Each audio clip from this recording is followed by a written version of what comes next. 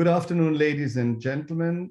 Uh, my name is Michael Rast, currently still with uh, ESA. I will have the pleasure to join the International Space Science Institute as of January 2022, and I have the great privilege and pleasure to introduce our speaker of today's EC Game Changer seminar entitled Positive Tipping Points to Avoid Climate Tipping Points.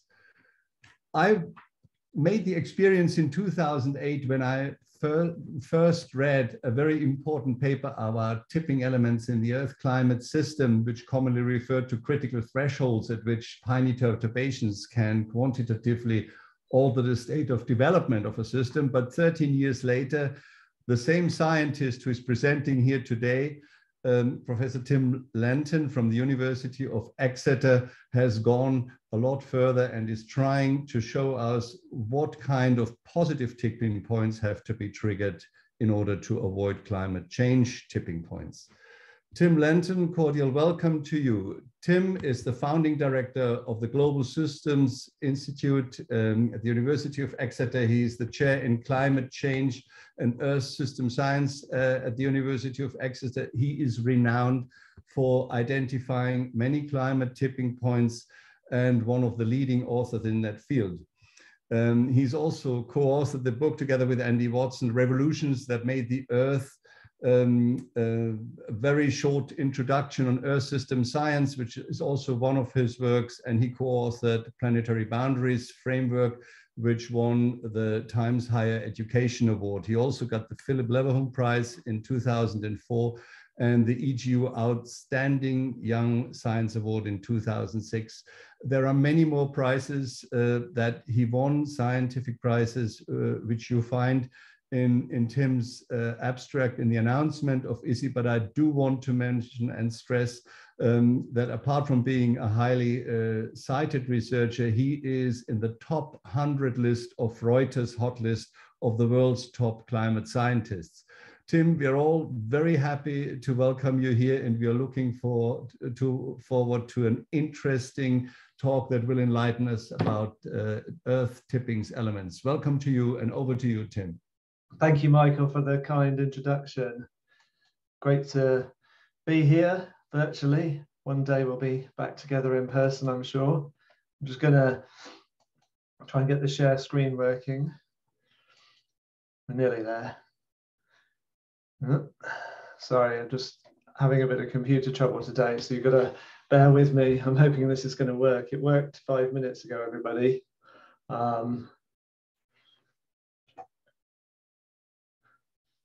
Oh dear. Never do a technical test. You do a technical test and it works, and then you do the real thing and it doesn't. Can you see that slide yes, okay now? We can okay, see it. Okay, great. We get started. So yeah, positive tipping points to avoid climate tipping points is my topic today. At first, I want to show you a little toy model of a system that I'm forcing to and past a tipping point. So it's a system with two alternative states, but it's in the one on the left, the little ball rolling around in the valley.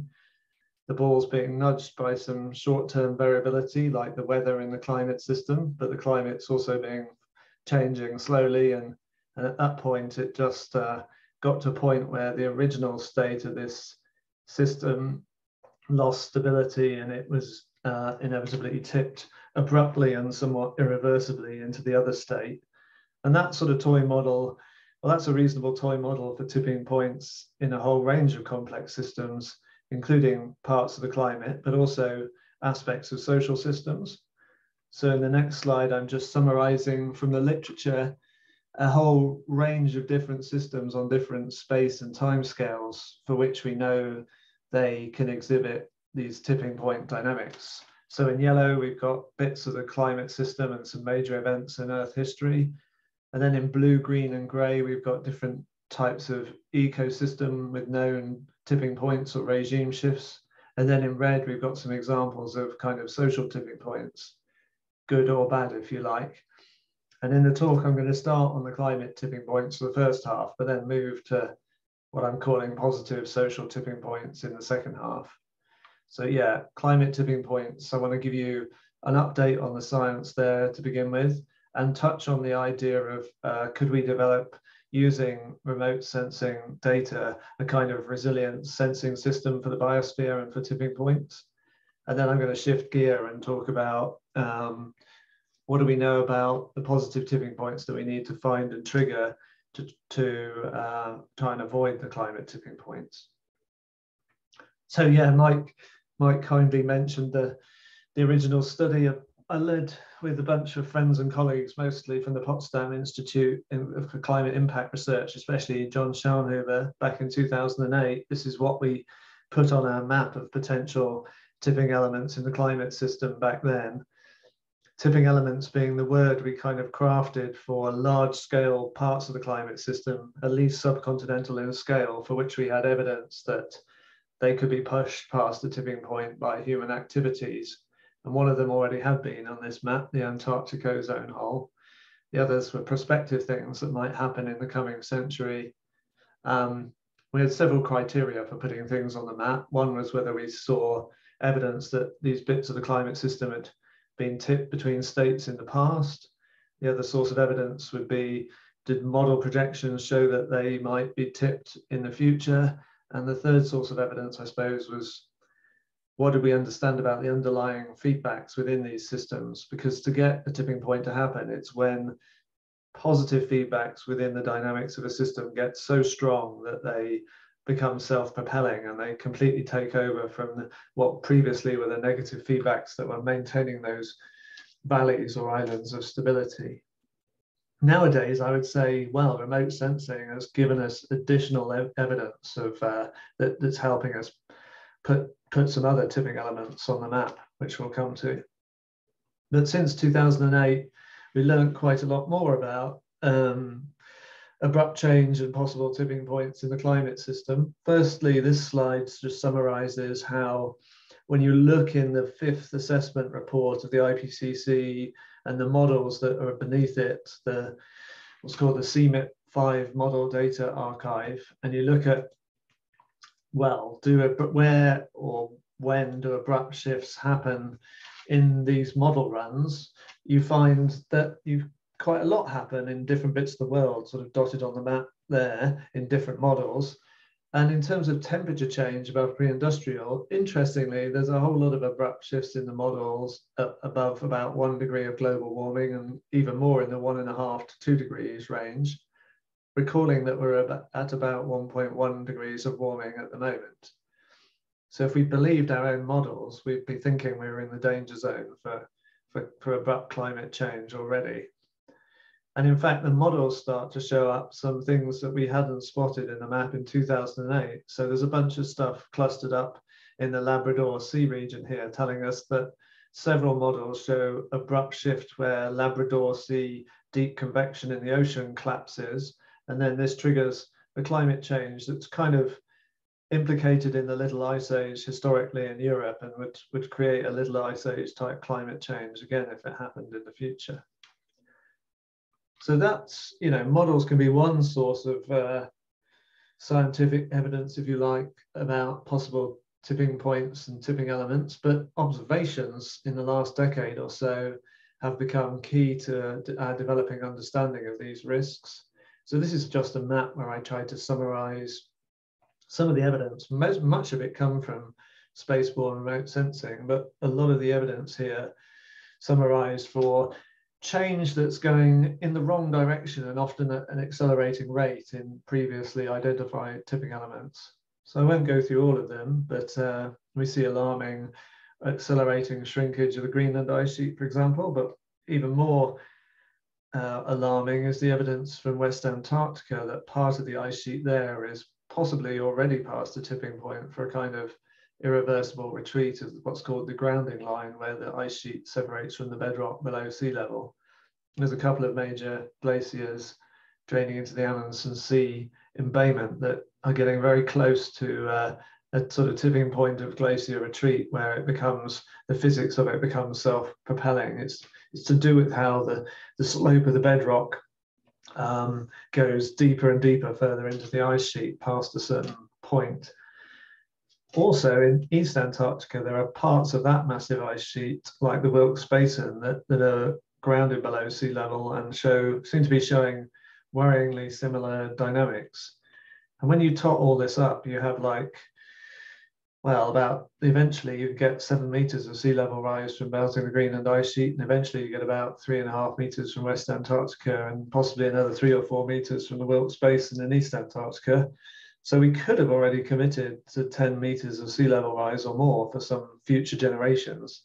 The only saving grace is that the, ice is melting relatively slowly at the moment, and we'd be talking many centuries in the future by to get that full sea level rise. But of course, the faster we warm things up, the faster the ice melts. Yeah, I won't go around all the map, but I'm going to come back to talk about evidence of change in, for example, the Amazon rainforest and, and maybe in the Arctic sea ice as well. Uh, but you could, the summary here is that basically the new scientific evidence of the last decade or so has fed into this changing risk assessment of tipping points as seen by the IPCC in the successive assessment reports and special reports. In, in a nutshell, 20 years ago, when, when the IPCC first started considering the risk of abrupt climate change, the thinking was it would take at least four or five degrees of global warming before, before it became a significant likelihood of abrupt climate change events. Um, now, uh, in two recent special reports on the 1.5 degrees C target and on the oceans and the cryosphere in 2018 and 2019, the consensus becomes that we're risking climate tipping points already at the present level of global warming. And we're definitely in the danger zone at one and a half degrees of warming and things look pretty bleak actually at two degrees C of warming. If we go there, we should expect these to become like high impact, high likelihood events. Uh, I'm going back to my little toy model though to show that there's extra ways we can get warming, warning of the likelihood of tipping points. So what we're seeing at the bottom is how the how's the ball fluctuating and moving around, and does that tell us something that, about how a tipping point is approaching? basically the ball rolls around slower as the valley gets shallower before the tipping point happens. That is because the negative feedbacks that maintain stability are getting weaker. So the restoring force on the ball is getting weaker. It rolls back slower in a shallower valley. Um, that means the whole system actually slows down in its response to perturbations. This has a formal mathematical name. It's called critical slowing down. And, it, and there are good statistical indicators to pick up that behavior. And I show one of them in red at the bottom, and it's called lag one autocorrelation in time. But it's just, you know, how similar is one data point in time to the next one? That self similarity in time goes up as the system slows down. And you see it as these more persistent fluctuations in the behavior. Now, for a decade or so, several groups of us have been showing that this early warning signal existed before past abrupt climate changes, at least in some cases, and it exists in some climate models that we can deliberately force past tipping points.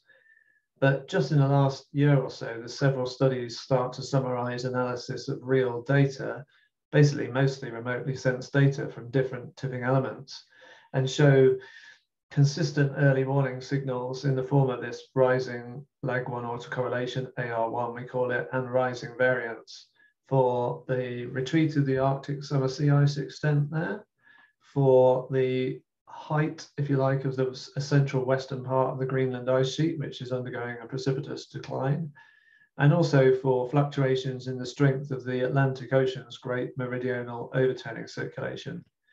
So that one's a little bit more complicated, but that there's basically a, a, sea surface temperature fingerprint, as it's called, that reflects the underlying strength of that circulation.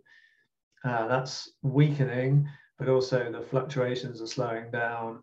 That's why the variance is going up and the autocorrelation is going up. And these are very statistically robust signals of basically showing these are systems heading towards tipping points. What it's not telling us is quite how close the tipping point is, but it's a clear warning signal.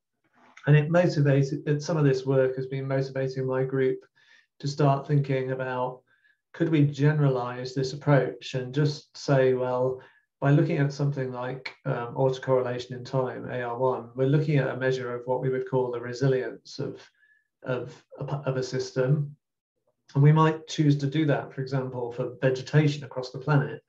So what I'm showing you here is what is the mean value of um, temporal autocorrelation of net NDVI, the famous vegetation greenness index, um, aggregated to what are called ecoregions, so distinctive sort of ecoregions, 800 or so of which across the planet here. Um, and when and this is just the average value from the MODIS NDVI data over the last 20 years. What it shows us is places in the darker red, we uh, higher AR1 we'd interpret as less resilient, slower fluctuations of the vegetation greenness. Places in the whiter or paler red would be more resilient, lower AR1. What do you see? Well, there's some clear patterns there. They make some sense. You see that hot and dry places like Australia and Southern Africa look the least resilient. They have the highest AR1, the slowest fluctuations of the NDVI. Wet, humid, hot tropical places like the Amazon rainforest look to be the most resilient um, on the mean state, and the Congo there and Southeast Asian rainforests. But also, if you look a bit harder, you see, aha, also cold, sort of dry places like the tundra are also apparently more resilient, or at least vegetation greenness fluctuations are slower there um, than they are in these um, arid arid places like Southern Africa, Australia, or somewhere in the middle of the Andes, or Mexico, for example. So we just became curious to look a little bit more detail at these patterns of resilience of different ecosystems. And this is how that resilience measure, where higher AR1 is lower resilience and lower AR1 is higher resilience. How does that depend on precipitation here for the 800 odd ecoregions that we just looked at on the map? Clear relationship. Clearly the resilience drops off, as it were, once you get below about two and a half meters of annual rainfall. Um, there are some interesting anomalies though, because I've colored the points here, here in by biome type. And so the tundra, it's dry, but it's cold and it, it's actually quite resilient by this metric. Obviously one would have some doubts, I think, about plotting what are on here as deserts and xeric uh, shrublands, some of these sort of murky green points. But the rest, I think, shows a clear signal. And there's also a temperature effect. So here I'm plotting this this inverse of resilience, if you like, AR1 as a color, uh, lower resilience, yellow color, high resilience, blue color, as a function of now temperature on the x-axis and rainfall on the y-axis. So we have the same pattern that as the rainfall goes down, uh, the resilience tends to go down and the AR1 goes up. But if we just look at a given level of rainfall in the dry settings, we can see a clear temperature effect that if it's dry but cold, it's still resilient. But if it's dry and hot, of course, it's the least resilient, the yellow points over here. So having looked at the mean kind of resilience of different ecoregions across the planet, it's natural to ask the question, are there any trends in resilience just within the 20 year sampling interval?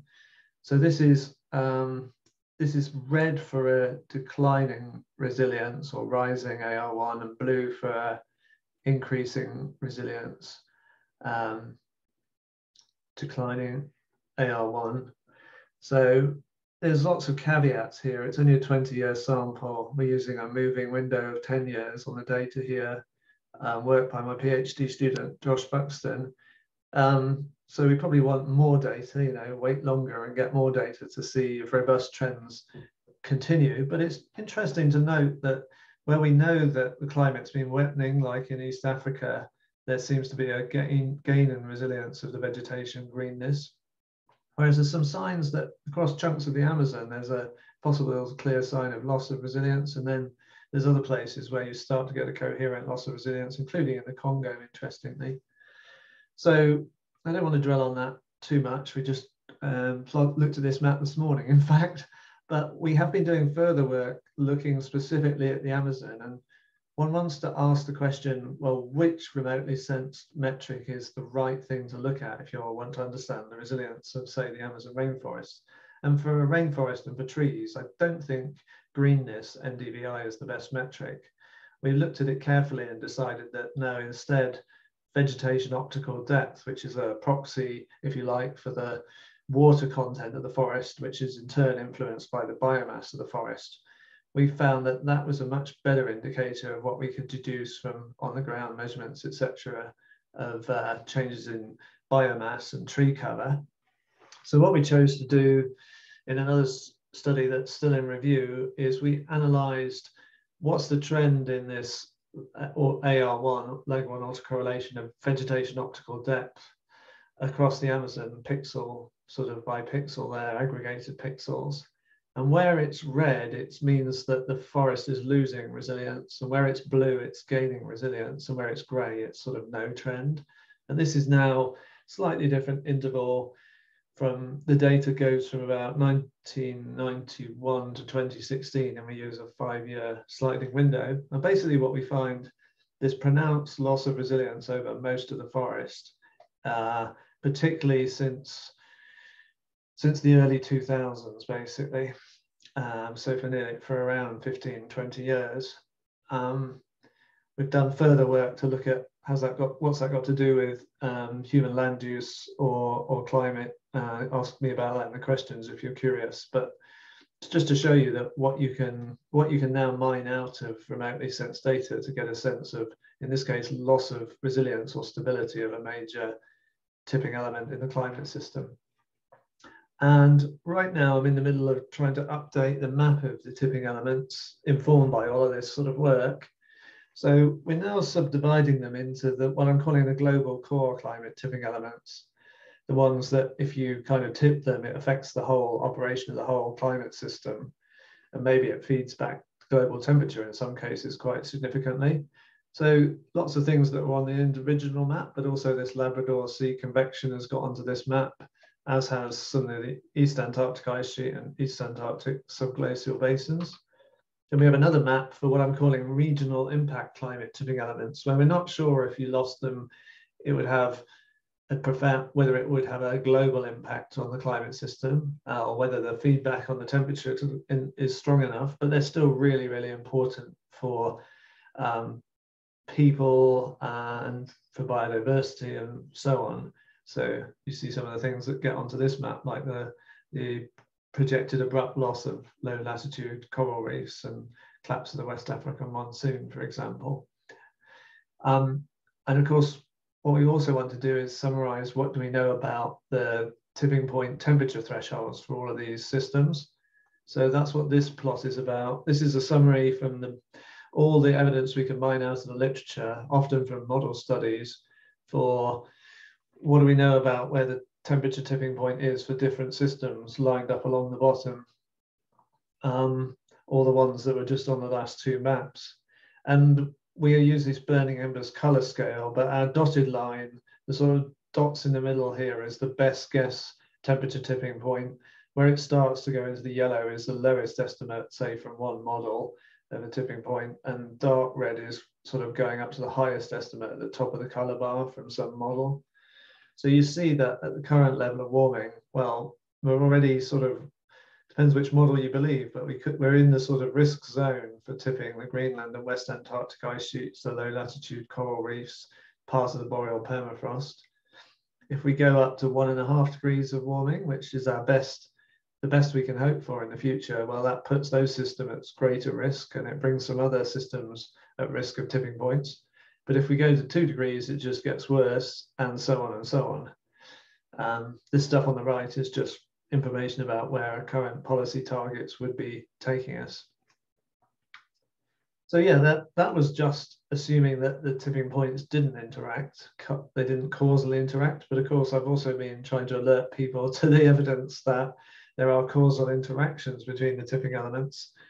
So for example, but because we're losing the Arctic sea ice at an accelerating rate, and that's causing amplified warming in the Arctic, that's contributing to the Greenland ice sheet melt as well as the fires in the boreal forest, the thawing of the permafrost, the meltwater pouring off Greenland and the extra rainfall in the Arctic coming into the North Atlantic Ocean is they're contributing to, to weakening this Atlantic overturning circulation. Earth's history tells us that when you weaken that, you disrupt rainfall all around the tropics, monsoons in South America, West Africa, India.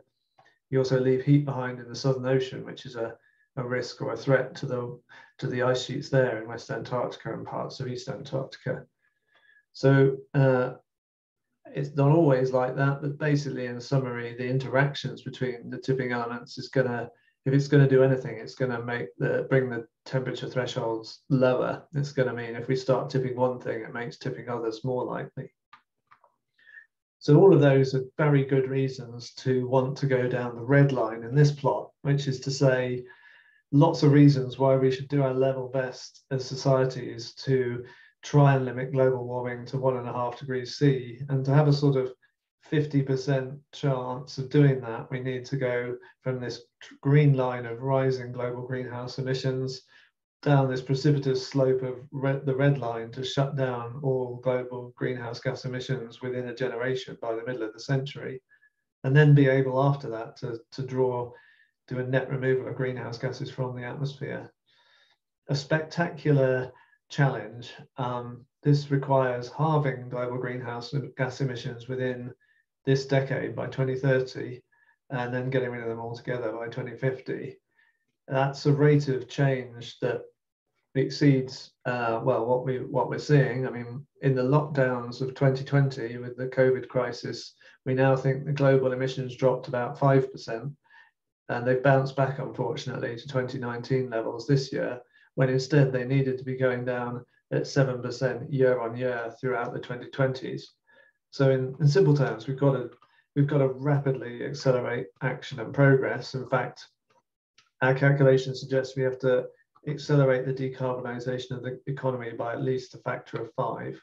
And that's why I want to switch over to talking about positive tipping points. So what basically, what tipping points can we find and trigger to accelerate the transformation from kind of business as usual state of the economy to decarbonized state.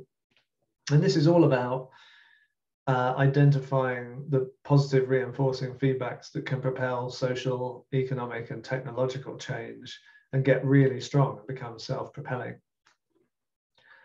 Now, we've seen some encouraging examples of these positive feedbacks in action recently. So here's one for social change because Greta Thunberg, by protesting in front of the Swedish parliament and skipping school on a Friday, makes it incrementally easier for the next person to join a protest and skip school, who makes it sort of incrementally easier for the next person to join, and so on.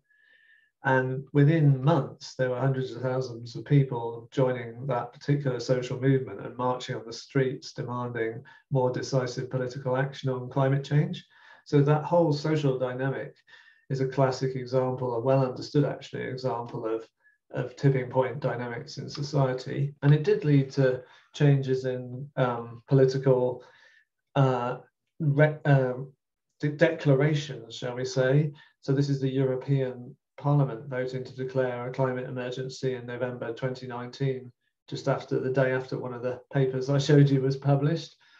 But it, political declarations aren't, aren't going to aren't going to solve the problem. Only action following from those declarations, decisive action, is going to solve the problem. So that's what I want to talk about next. Do we have any evidence that there could be a really abrupt changes in the relevant parts of society, technology, and corresponding uh, greenhouse gas emissions?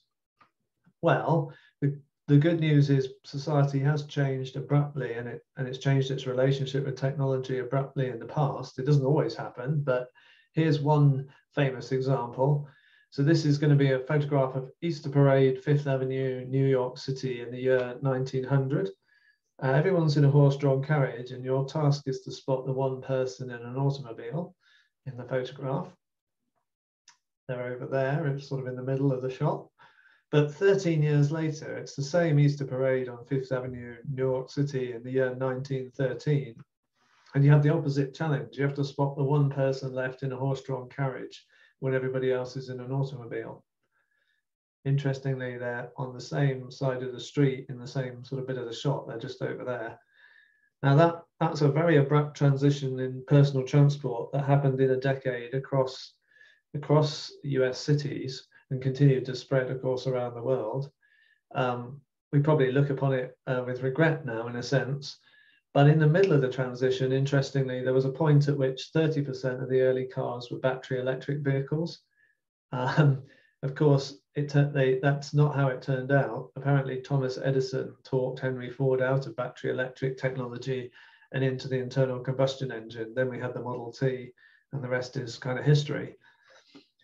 But this is uh, only one example of how abrupt technology change has happened repeatedly in the past. So now I'm plotting lots of what are called S curves of the uptake of new technologies over the last century or so, where the data is good for the US. And the key point here is there are some really well known reinforcing feedbacks that always underlie this kind of abrupt social technological change.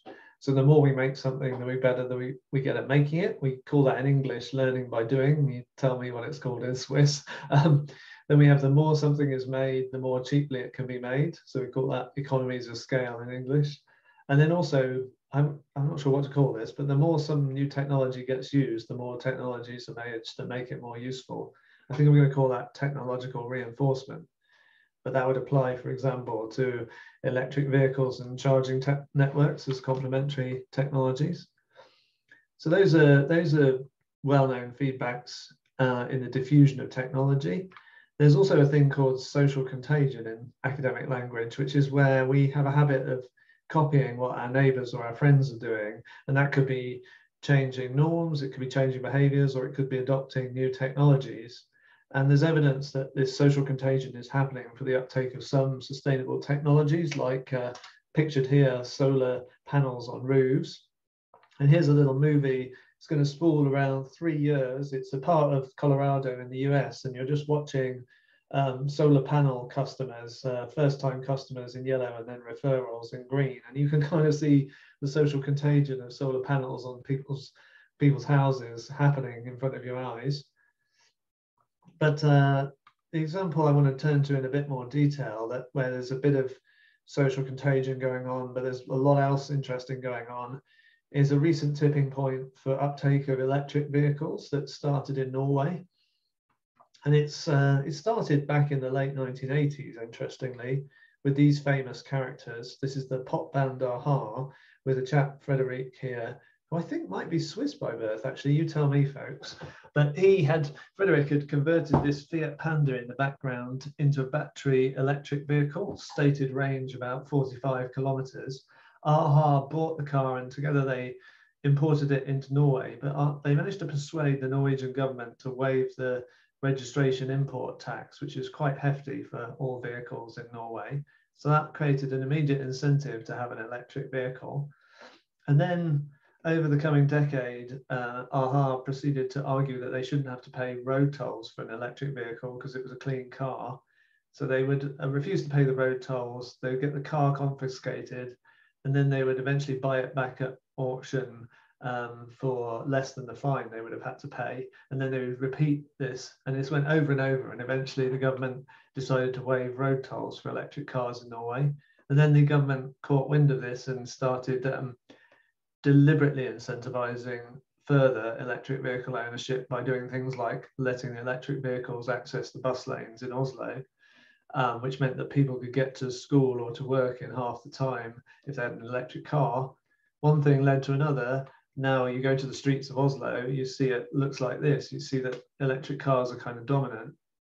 And to show you that in real data, this is uh, this is the market share of electric vehicles in the bright blue color over time, plug-in hybrids, non-plug-in hybrids, petrol, diesel. You see, it's just in the last 10 years that electric cars have gone from a tiny part of the market to the dominant um, part, part of the car market in Norway.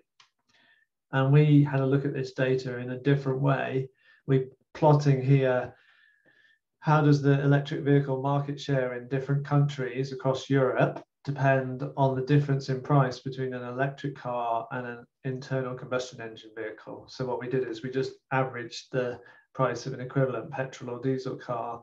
And when the cost difference here is minus, it means the petrol or diesel car is cheaper. When it's zero, it means they're the same price to buy if you go to the dealership or buy And in Norway, yeah, when they're the same price, thanks to some clever policy incentives, um, for sure people are buying electric cars. This is the 29 data, 2019 data, sorry, and it's a bit out of date. The, you know, Norway would be further up the chart right now. You see though that there's a really strong tipping point non-linearity. Everywhere else, it's only 5% market share until you get really close to price, price parity and then bang, people switch technology. So that's perhaps interesting in and of itself. It tells us something about how one can incentivize a tipping point to electrifying transport. But there's good news here that the more that happens, uh, the more it will become self-propelling. So what I'm plotting is how battery price, which is the key thing that adds to the price of the electric car, how that's coming down over time, the more batteries that get made and the more electric cars that get sold. So it's an amazing economy of scale basically for batteries. And that gives a clue as to how one, well, policymakers at least could be part of triggering deliberate tipping point to electrifying transport. It's clear from the Norway example how they can put in policies that will incentivize this. But the point is, once those once this starts to become effective and the market starts to grow, the whole thing becomes self-propelling because of the economies of scale basically the battery prices come down. We get within a few years to the point where in many major economies, uh, electric vehicles will be cheaper to make than petrol or diesel cars, at which time they'll definitely be cheaper to buy, and I think everyone will be buying them. So that's a kind of tipping point that becomes self-propelling. But what's interesting about it is it could open up opportunities for other tipping points. So obviously, if you have loads of cheap batteries available in the economy, it opens up the opportunities to electrify light goods transport. It might stop oil firms from hedging and might persuade them to reinvent themselves, not as oil firms, but as something else. But most interestingly for me, if you have a load of cheap battery storage available because of this sort of electrification of transport revolution, that's going to really help enable the, the transition to renewable energy. Because the one problem that has to be solved with renewable energy uh, and that needs cheap power storage is is that when you want to like boil the kettle, it's not necessarily when the sun's shining or the wind is blowing. So cheap batteries is one kind of cheap storage that can uh, iron out that problem in a renewable energy future. So yeah, I want to turn to talk about a final example of a tipping point um, away from coal burning and certainly towards renewable power that's been that's been happening in my home country, the UK. So it's a bit of a complicated chart to start with, but basically the story is that um, we've been investing in a big way, the, the British taxpayer, in um, renewable energy capacity in the UK, much of it offshore wind, but also biomass energy and solar. And then on what, what that means is um, when you're trying, if you're what's called the national grid in the UK, who who, who supply electricity to all of us, um, basically you're going to take all the renewable capacity you're going to you can get on the national grid, uh, but then if it uh, normally you go next to the cheapest fossil fuel, which would normally be coal, but coal's the dirtiest fossil fuel for emissions. So if you put a price on carbon emissions um, in power generation, you can tip the dynamics. So instead of going to coal, you go to natural gas next, which has half the emissions for the same power generation. And this is basically the story of what's happening in this plot. There's a price on carbon emissions from power generation from the EU in grey, but, but um, British government chose to um, put an additional price on carbon emissions just in the power sector and then step it up twice. So that's the blue shaded area. And sometime in late 2015, this basically uh, tipped the dynamics. So gas became cheaper than coal and suddenly went up in use on the grid. That could have been a reversible change because these red line wiggles around a lot. The market's pretty volatile. The price of fuels is changing all the time. But it had some interesting effects.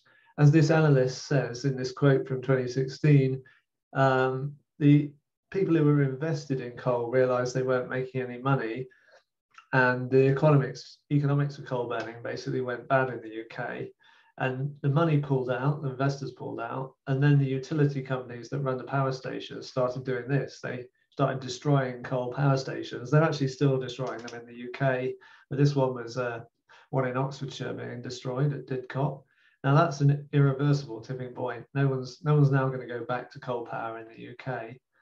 And this is the end result. The black line is the contribution of coal to power generation in the UK. In 2012, at the peak there, it's 40% of electricity supply in the UK. I haven't carried on through to 2021, but I can tell you it's less than 2% um, at present. And here's the renewables picking up most of the slack, the green, blue, and the yellow. Now, we should be thinking also about how to go global with the renewable energy tipping point. But uh, the good news is that's coming anyway because of these economies of scale. So this is how the price of solar photovoltaic panels declines the more solar voltaic panels you make on the x-axis, both on a log scale, the price and the and the deployment. And things were sort of stalling up to 2008, but then you see this spectacular fall in price since then as the market has just expanded exponentially. Interestingly, it was private finance. It was a floating of five solar PV companies on the stock on the US stock exchange around 2007-8 that pouring in of money that basically kick-started this incredible cost curve, as it's called. And it means most some of the analysts are saying that within a decade, in many parts of the world, solar will be generating power at, at like a fifth of the price of any fossil fuel. There's a similar cost curve, curve for wind power, um, and this means the renewable energy revolution is coming, like it or not, as it were.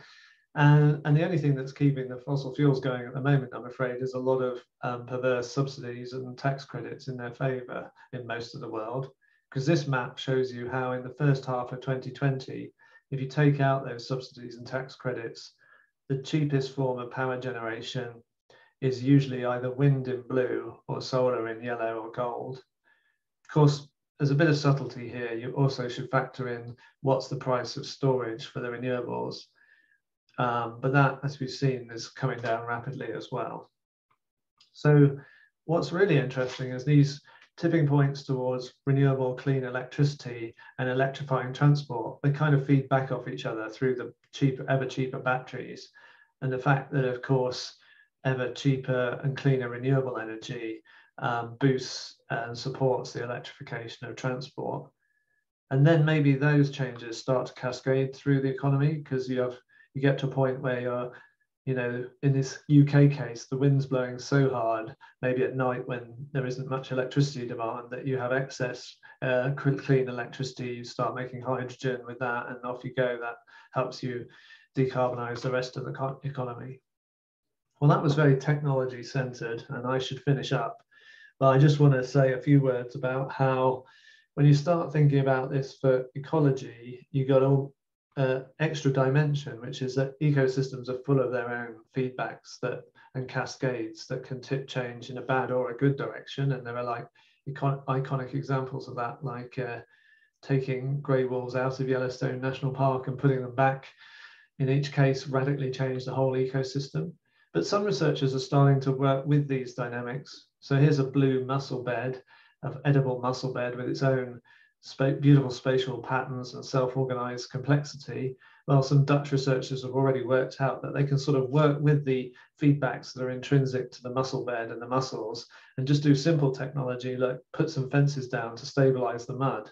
And you can start um, recovering and, and growing these what in this case is a is a sustainable food source of protein from the ocean so yeah, that's led me and some colleagues to think about what are the possible positive tipping points for transforming food and land systems that that we might uh, think about triggering. And I won't dwell on that, but we have written this report where we look at three three case studies in a bit more detail. One of which is a possible tipping point for dietary change and alternative protein sources focused on Europe so that can be plant-based meat substitutes, it can be lab cultured meats, it can be people choosing to turn away from red meat in their diet.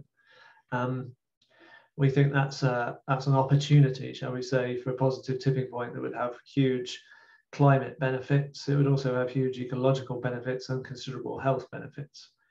And yeah, I'm at the point where now I'm trying to, I've just got a paper accepted out articulating a sort of recipe or framework for how do we how do we identify and trigger positive tipping points. So who are the who are the agents of change or the coalitions of society, finance, policy, media, scientists that could come together to make the tipping happen uh, sooner and faster? I'll, uh, I'll I'll finish there and summarize. So I started off sort of making you depressed and telling you in simple terms we're in a climate emergency and we might have already passed some damaging climate tipping points and we're definitely heading towards others. So we need to limit global warming to well below two degrees C, but we've left it so late now that we need to find some other positive tipping points in society to have any hope of meeting that target.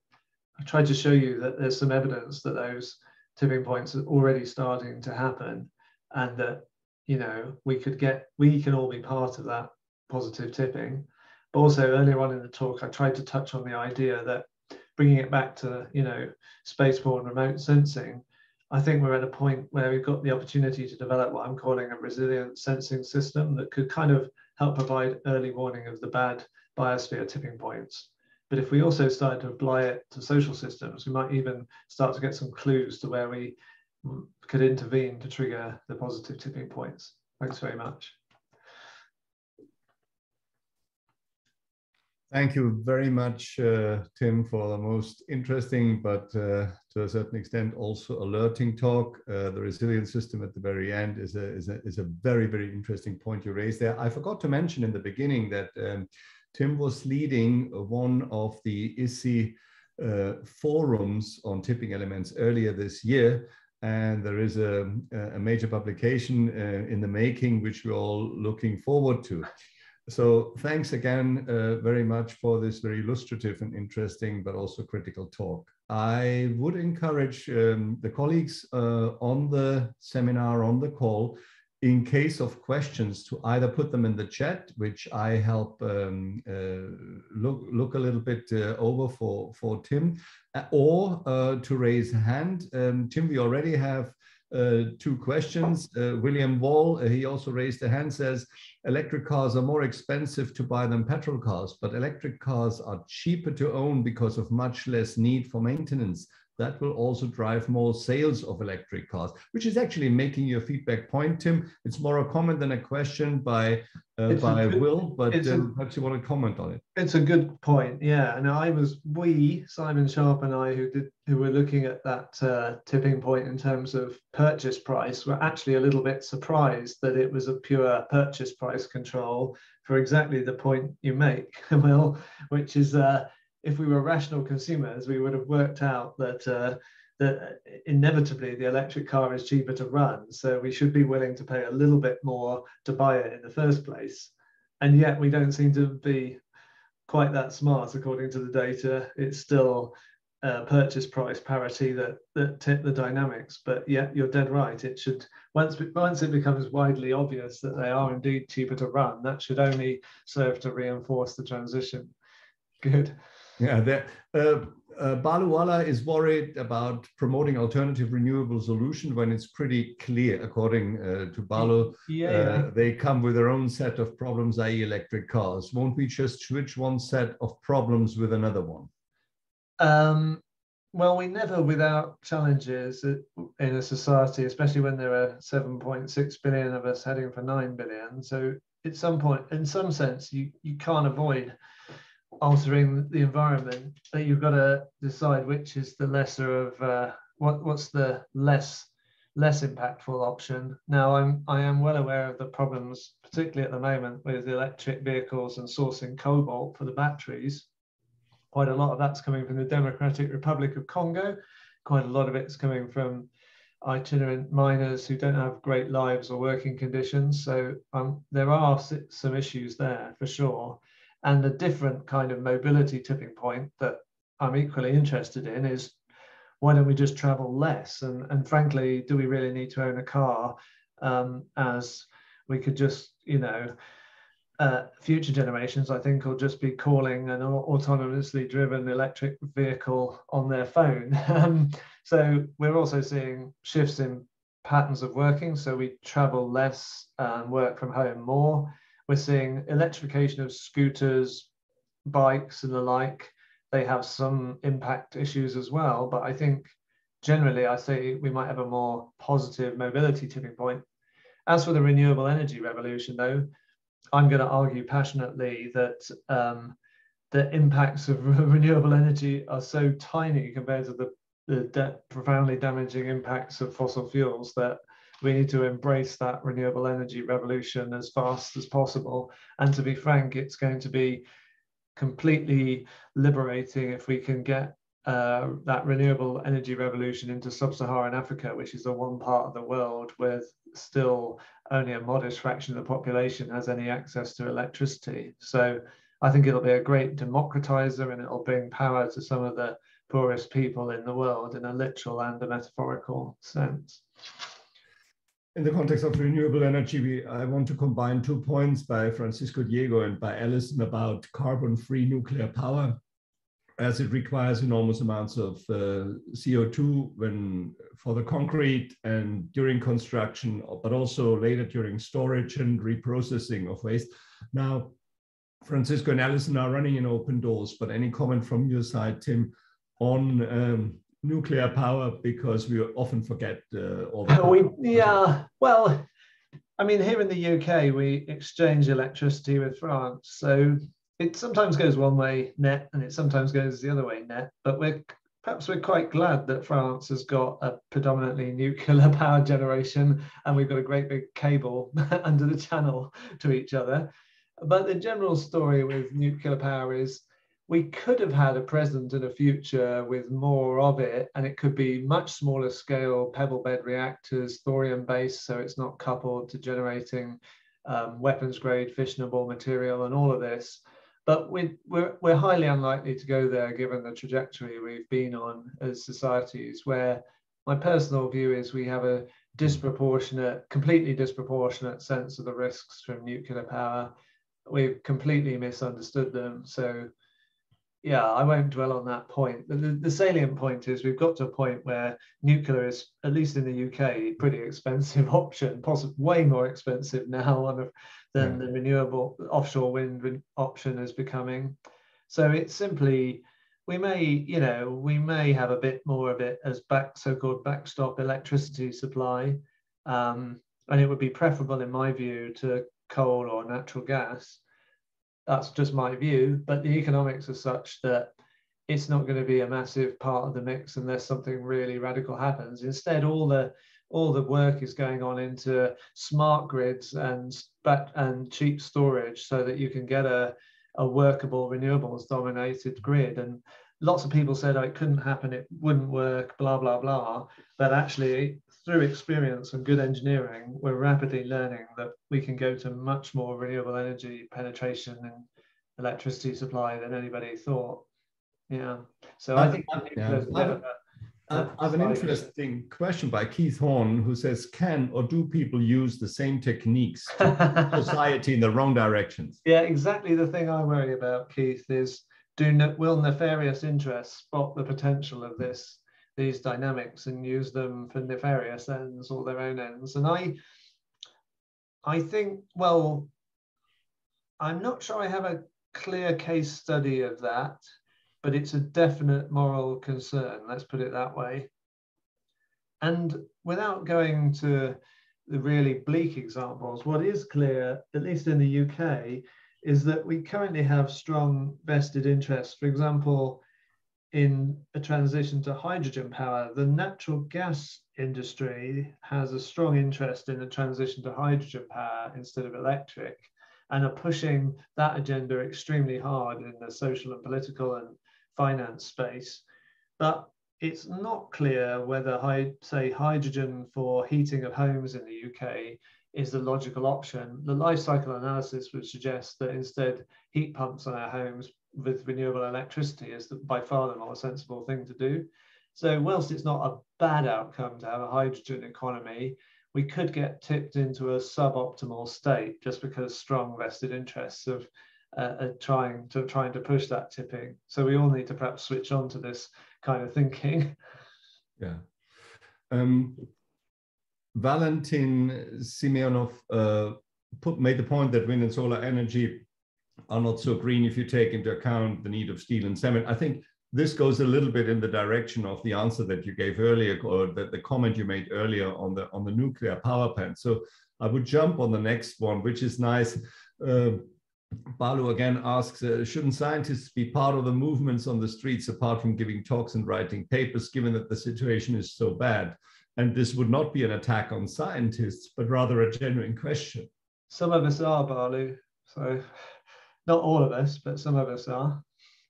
Um, it's uh, everyone can make their own choice on this, but but I got quite a few colleagues who are part of the movement on the streets and proud of it.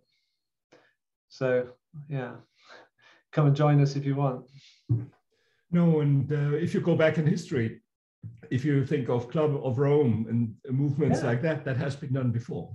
Yeah, exactly. So, scientists are more active than sometimes it may appear. I come to a question of Annika Znav, and actually, oh, yeah. I had the very same question.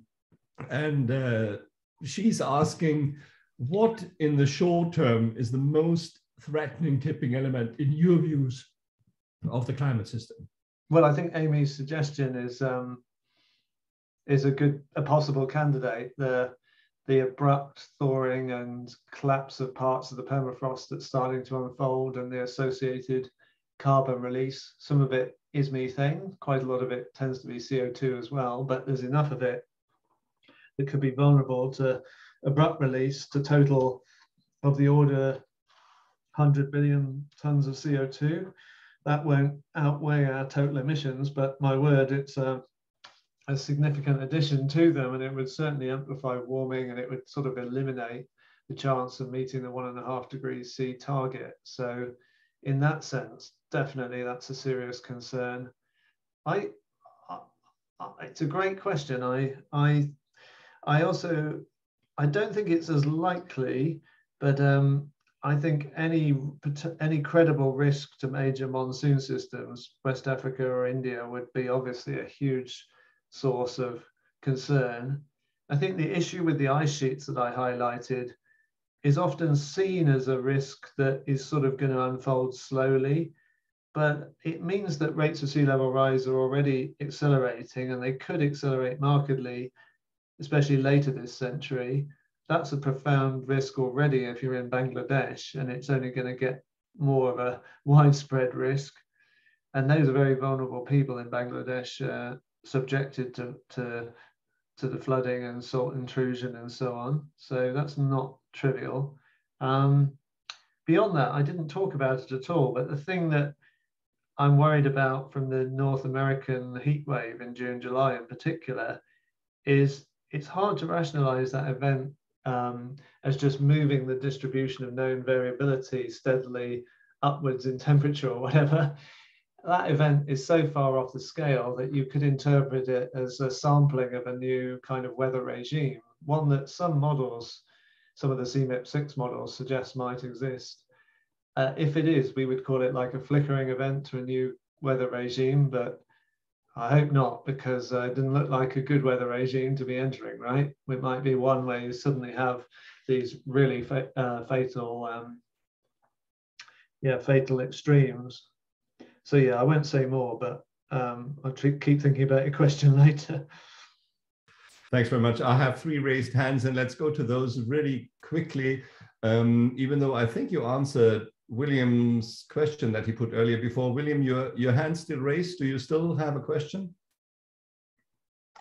Hello. Yes, uh, I have an, another question. Um, uh, whenever I attend a climate talk, I'm always asking myself, are we doomed? Are we doomed? Are we doomed?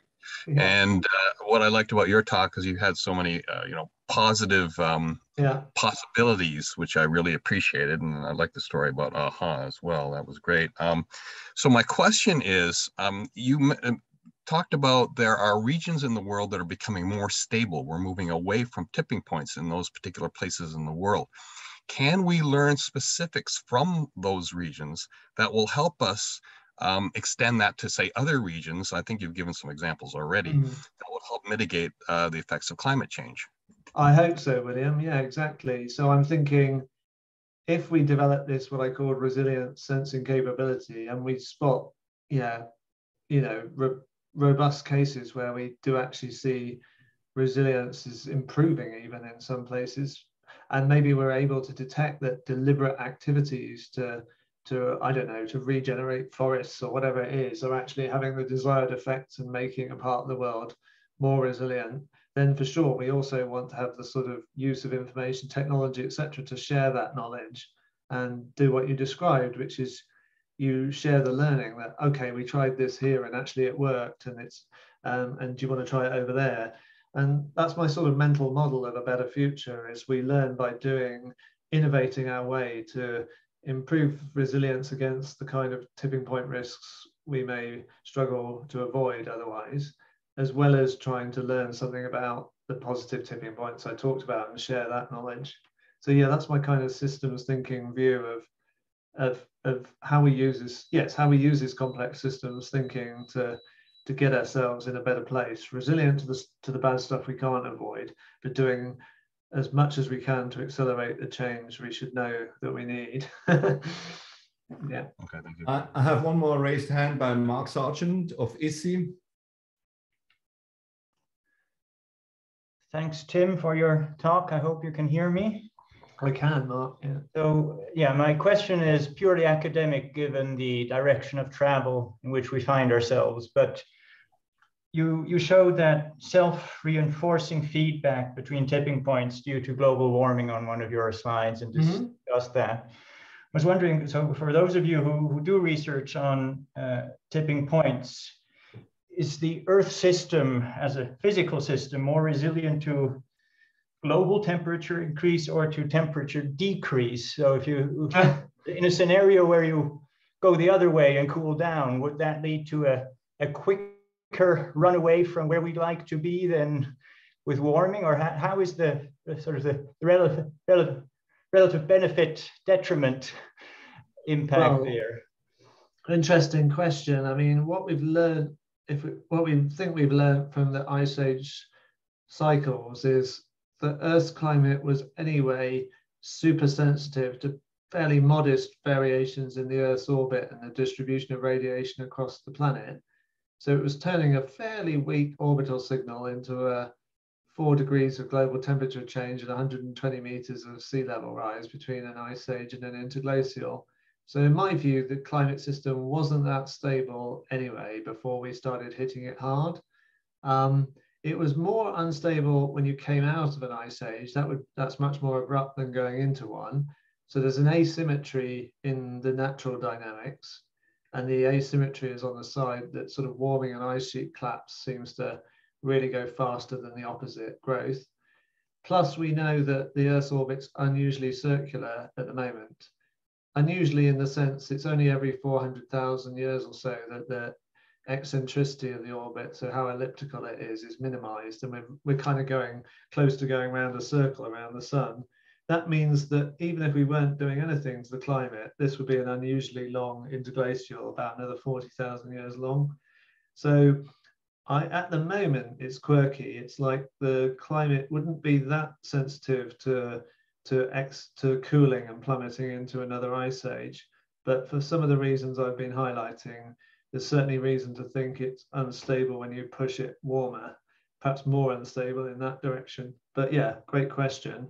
And to be frank with you, not a question that's addressed enough in, in the bigger picture climate science community. Um, because after all, we haven't, we still failed to build three-dimensional climate models that are state of the art, supposedly, that can actually capture some known past abrupt climate changes.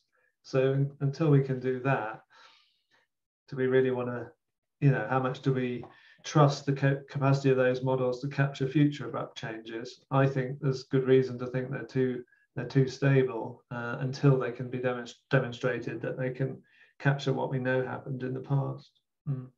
This would actually be a great uh, uh, subject to tackle in an EC workshop on uh, yeah. elements, following up our forum earlier this year.